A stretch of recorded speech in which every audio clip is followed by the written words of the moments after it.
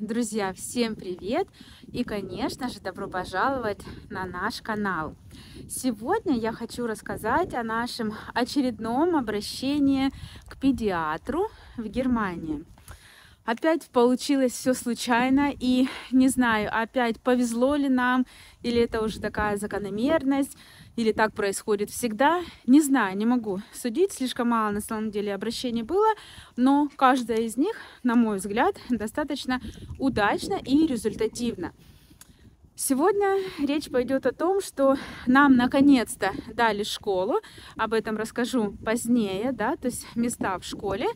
А, мы сразу скажу, что школы очень остались довольны, несмотря на то, что эта школа не та, в которую изначально мы ходили. Но, как говорится, все, что не делается, делается к лучшему, не устаю это повторять. Сейчас я выбрала такое тихое место, потому что, к сожалению, что-то случилось с нашим микрофоном. А, и я постараюсь здесь рассказать о нашем посещении педиатра. Надеюсь, будет слышно. В общем, поскольку нам дали школу, а, мы пришли туда, узнали, что нужно делать. И одним из пунктов оказались две прививки от кори. Если бы, наверное, я озадачилась этим вопросом раньше, я была бы, наверное, к этому готова.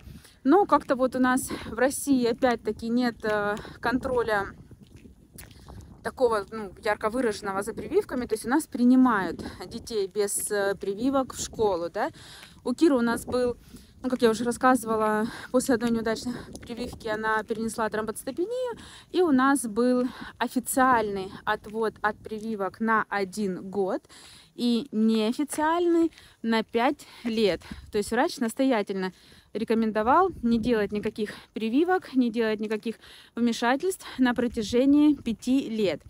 Собственно, 5 лет э, вот только что как раз полгода назад закончились, но, честно говоря, прививки делать у меня желания не было. Но тут сказали, деваться некуда, и мы пошли к педиатру. Опять-таки пошли мы как? Просто в день обращения попали на прием. Я взяла прививочный сертификат дочки, он на самом деле практически пустой. Там были только, ну, прям самые элементарные прививки, которые делались на первом году жизни. Вот, э, я с этим сертификатом подошла опять-таки а, в регистратуру приемного кабинета педиатра, да, объяснила, что так и так нам нужно... Guten Tag. Hallo э, объяснила, что нам нужно в понедельник выходить в школу, а, к сожалению, у нас нет прививки, нам бы попасть на прием. На ресепшене, конечно же, сказали, что это сделать очень трудно, потому что мы не записаны, а плановая запись у нас на 23, по-моему, марта. Вот. Я опять-таки попробовала объяснить, что без этого нас не пустят в школу, а мы и так уже два месяца находимся на территории Германии, даже, даже уже скоро как три, и ну, нам нужно идти в школу в этот понедельник.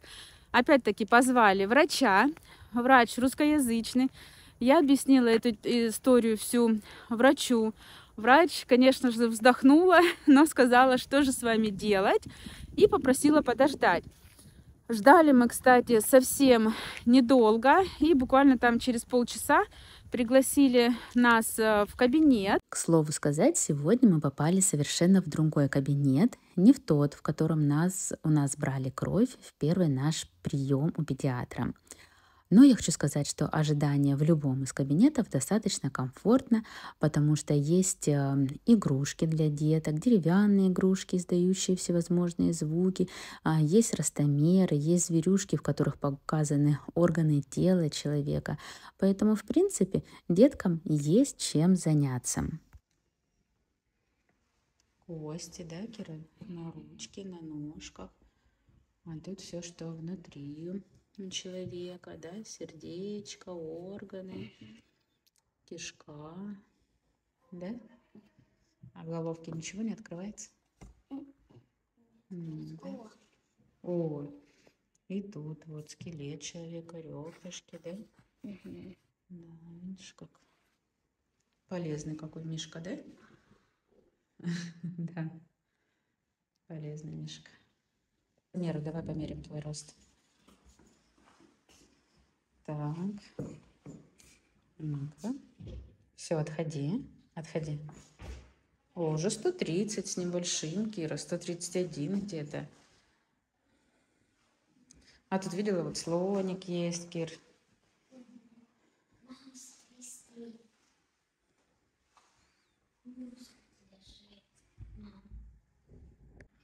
Давай, показывай, Лечка.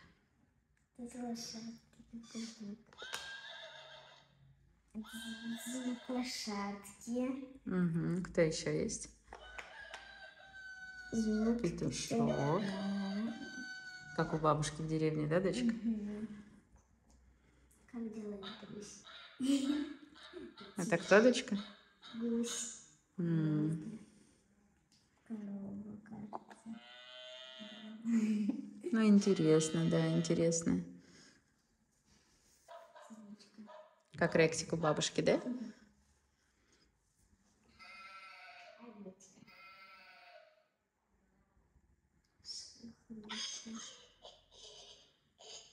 Свинка, да? Как Буська, да, Буська наша. Как буся. А, в этом кабинете Кирочки сразу же сделали прививку. Я вот прям обращаю ваше внимание на то, что а, прием произошел в день обращения. То есть вот, эм, как говорят, да, о том, что там 2, 3, 5 месяцев ожидания приема врача, это на самом деле, да, правда, если это плановый прием. Но если нужно вам попасть по каким-то причинам срочно к врачу, ну вот в нашем случае уже прошел третий раз, третье обращение, и нам не отказали. Ну, я на самом деле этому очень рада. Я рада, что здесь э, откликаются на призывы к помощи, на просьбы о помощи, да. Естественно, я не пришла и не начала ничего требовать, да. Естественно, я просто попросила войти в наше положение, понять нашу ситуацию и попросила о помощи, да. И нам помогли, нам не отказали. То есть, ну, у меня вот лично складывается такое впечатление, что если вы обращаетесь по-хорошему, по-доброму, объясняете ситуацию, ну, а не просто, грубо говоря, стучите кулаком о стол, да, и требуете приема, то вам, ну, не откажут. Вот, ну, это мое мнение. Возможно, я могу ошибаться, да, но пока складывается именно такое мнение. Вот, нам тут же сделали прививку. Дочка, в принципе, побаивается прививок. Она прям, я видела, что она была очень напряжена, но, к моему счастью, она даже не заметила, что сделали. То есть она сидит также в напряжении, ждет, и доктор говорит, что все, прививка сделана. И она такая, мама, как? Ну вот. Дочка, мы сегодня где с тобой были? В больнице. Что делали? Это прививка. Больно тебе было, дочка? А тебе понравился наш врач? Мгм. А что дают в больнице после посещения? Колечко и мармеладки. Но в прошлый раз дали только колечко. Мгм. Добрый доктор, Кира. А в больнице самой нравится? Приятно находиться? Да? Ну все, а теперь мы куда пойдем? Пойдем. А где больница находится, дочка? Там находится больница, да. Это у нас самый-самый центр, получается, района Дортмунда, Людген Дортмунд. Там ничего не видно, правда, солнышко светит. Ну, здесь вот центральная площадь, и прямо на этой... Кирочка! И прямо на этой центральной площади находится детский кабинет детского врача. И сегодня мы сделали первую прививочку. Пойдем? То есть э, прививку сделали, ну, не больно, просто не больно. Вот. И после этого взяли наш сертификат. Врач сказала, что если было бы в нем много прививок, то она бы просто дала нам справку о том, что Кире сделали прививку от кори. Но в силу того, что, как я уже сказала ранее, сертификат дочки был практически пуст из-за отвода да, от прививок, то врач сказала, что она сейчас переведет. Я сейчас покажу сертификат российский, да, который у нас был, и следом за ним тот сертификат, переведенный, желтенький, вот э, прививочный сертификат, уже нынешний немецкий. Друзья, ну вот, как я обещала, показываю сертификат о профилактических прививках, который выдается в России. Это сертификат Кира, он такой вот голубенький. Я обклеила скотчем, чтобы он просто не погнулся и ну, не износился со временем.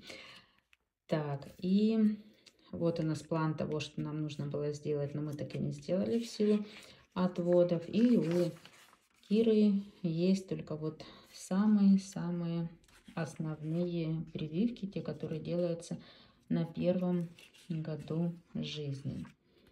Вот, и, собственно, все, дальше он пуст. Сейчас покажу немецкий.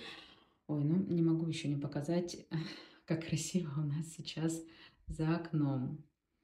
Идет снежок на улице, это вот соседний домик. Снежок падает, вообще красота. Еще мы не убрали новогодние гирлянды в комнате. Обычно это делаем после дня рождения сына, после 20 января. Ну, а здесь, кстати, вот тоже еще покажу. А, здесь дети выращивают лучок.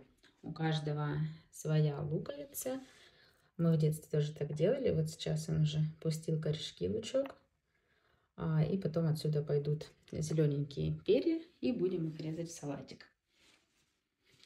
Вот, так, ну а теперь покажу, вернусь к делу, так сказать, и покажу э, сертификат немецкий, который нам выдали. Он вот такой вот желтенький. И сюда вот нам перенесли тоже все наши прививки. Вот те, что были. И вот то, что нам поставили перед школой, прям в день обращения, о чем я рассказывала. Вот 11 января 24 года. Ну и все, и дальше он пуст. Теперь, как я уже говорила, нам на прием а, примерно в середине марта. И там нам составят график прививок, на, чтобы проставить то, что является обязательным и необходимым в силу возраста. То, что можно ставить, можно не ставить, мы ставить не будем. Вот так выглядит немецкий сертификат. Вот так. Тоже обклею его скотчем, потому что вот у них тоненькие листочки, чтобы не потрепался, чтобы не вышел из строя быстро. Мне очень нравится. Я просто проклеиваю скотчем. Я со школьных лет на самом деле так делаю. И он как новенький. Единственное, вот так вот блестит на камере. Здесь, если врач разрешит, не знаю, вдруг там какие-то ставятся отметки на первую последнюю страницу. Если врач разрешит, то сделает то же самое. Ну, собственно, вот так вот прошло наше очередное обращение к врачу, к педиатру в Германии. Опять-таки, я хочу обратить внимание на то, что мы всем довольны, а, благодарны за то, что относятся, ну, просто по-человечески, входят, да, в ситуацию. Врач очень мило рассказала по прививкам, сказала, что нам нужно будет прийти по термину, который вот у нас в марте, и врач составит нам график прививок, который нужно будет сделать. А, сказала, что мы же анализ крови сдавали, что кровь в порядке и что она не видит дальнейших поводов для отвода от прививок. Ну и еще надо сказать, что а, в России мы тоже заходили к врачу у которого Кира наблюдалась долгое время после вот этой неудачной нашей прививки. И врач тоже сказал, что он не видит причин для дальнейшего отвода, что отводы все нужно снимать, и что, ну, в принципе, это такое заболевание, которое вот, ну, организм раз дал сбой, и, в принципе, оно повториться не должно. Поэтому, говорит, смело можете делать все прививки. Собственно, знаете, после этого приема мне показалось, что если бы я сейчас достала прививочный сертификат сертификат сына и попросила бы перевести его, мне кажется, что врач даже здесь пошел бы навстречу. Но мне стало, честно говоря, неловко, потому что нам и так пошли навстречу, да, и мне стало неловко просить еще перевести сертификат сына, просто потому что, ну, у него все прививки есть, согласно его возрасту, и... Алло? А, все прививки у сына есть, и Ну, в принципе, достаточно было нашего самостоятельного перевода, его прививочного сертификата для того, чтобы нам пойти в школу. То есть мы его сделаем самостоятельно с помощью Google переводчика. Вот, потому что, естественно, в медицинских всяких терминах не силен даже муж. Но врач сразу сказала, говорит, давайте, чтобы вам было проще, а, я вам дам как раз-таки справочку о том, что у сына есть прививка от кори, говорит, это самая необходимая прививка для поступления а, в школу, и у вас не будет никаких проблем, и, возможно, даже сертификат переводить не придется. Мы взяли эту справку, но сертификат на всякий случай, конечно, все равно переведем. Вот, собственно, так вот, опять-таки, на позитивной ноте прошел наш очередной незапланированный прием у педиатра, на который мы попали а, в день обращения. Так что вот так вот, ребят. Просто поделилась тем, как это происходит у нас. Благодарю вас за просмотры. Может быть, кому-то эта информация пригодится. Всем хорошего дня! Пока-пока, до скорой встречи. Ну, а, собственно, после того, как было сделано такое большое дело, как поставлена первая прививка в Германии, причем поставлена в день обращения, и получается, что мы успели сделать это к школе, чему очень рады, мы с дочкой зашли в небольшое кафе, которое находится в центре Людгендортмунда, рядом с кабинетом педиатра. Дочка взяла себе здесь вкусное пирожное, ну а я по традиции капучино.